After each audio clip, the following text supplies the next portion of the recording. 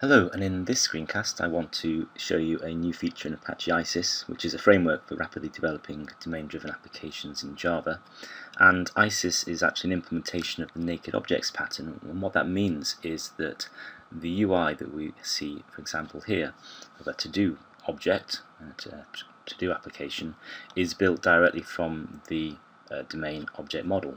Um, so if we look at the code, we can see that we have a bunch of properties here and collections, description, due date, category and so forth and a couple of collections down the bottom, dependencies and similar items and they correspond to the applications that we can see running here and there's no controllers or views.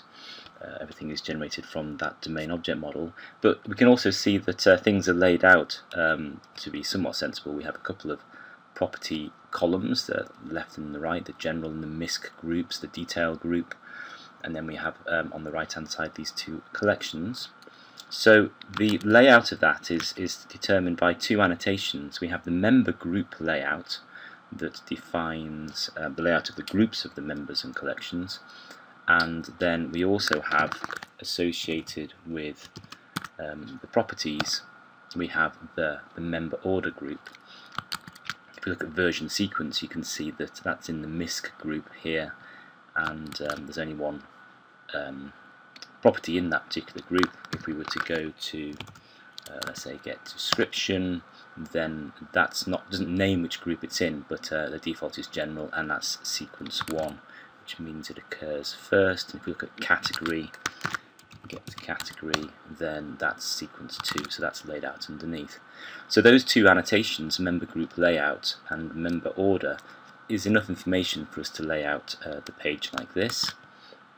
Um, what else can I show you about this? Uh, there's one other thing to maybe point out. Um, you can see that here we have a couple of actions, uh, the done and the undo, and here we have a couple more actions, add and remove. And uh, if we look at how that is uh, done again it's with the member order annotation. So this particular action that will add a dependency is associated with the dependencies collection. And uh, in the case of the done which I think is actually the completed action which is rendered as done uh, you can see that this particular uh, action is associated with the complete property. So that's why this appears over here. Okay so as I say, member order and member group layout between them provides the information for us to lay out the page in this way. But if I want to change the layout, it's a bit frustrating because I've got to go through quite a, a long and involved um, sort of compile redeploy process. And it's the kind of thing that you'd really want to sit down with your business person and sort of just change it uh, dynamically.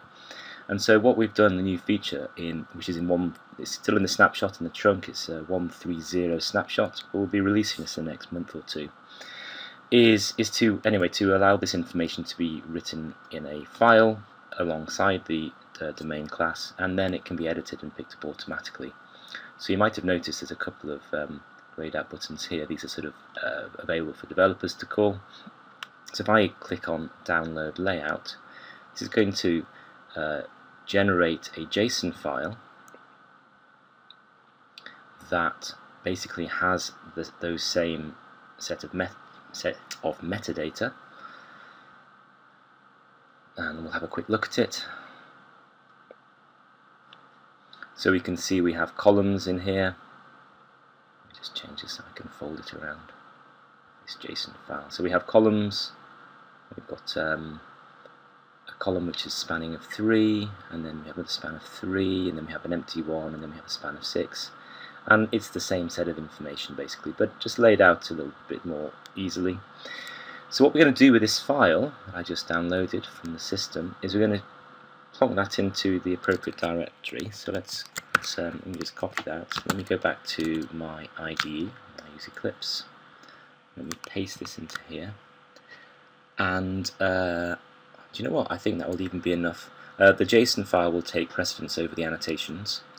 So um, all we need to do, he says, is press refresh layout. Actually, we need to press that uh, twice, in fact, for reasons I won't explain now. And we haven't changed the, the layout, so we're getting the same information. But now what I should be able to do is go to this JSON file and start messing things around. So let's um, let's maybe move the version sequence up alongside his buddies here. So the MISC uh, group is now empty. Let's save that. Let's uh, do a refresh layout. As I say, you need to press this button twice. So I'll just do that one more time. Okay, great. And can you see versions now moved into the general group? Um, I don't quite like the layout here. I think I'd like to maybe uh, make the general column a bit sort of narrower. So let's sort of reduce the span on that. So let's say that's a, a 2, that's a 3. Um, using Bootstrap there are 12 sort of regions and so we might make this a bit bigger, 2 and 3 and 7 makes 12. So we'll save that. We'll now go and do our refresh layout again. Press that twice. And okay, things have moved around a bit.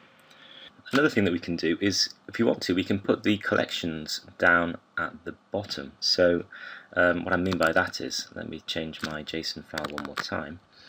If I said a span of 6, say, and um, a span of 6, I'll leave the, the last column there as empty and then say 12. Um, what this should do, all being well, is it will say, well, those two property columns are going to take up the entire span, and so what we'll do is we'll overflow the collections and they'll go underneath. So that's what we've got in fact. Okay.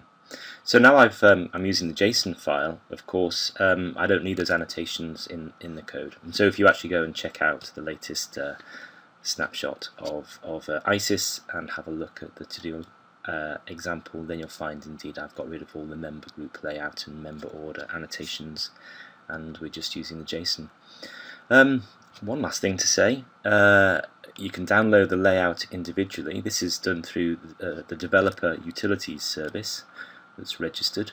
Um, also, you can download all the layouts as a big zip file.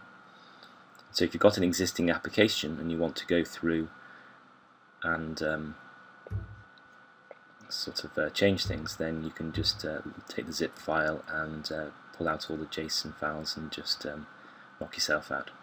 Uh, there, are some in here that relate to services and so forth that don't apply, just ignore those and just pull out the ones that you do need. Okay, so I hope that was useful, and uh, do try out this new feature. Thanks, bye-bye.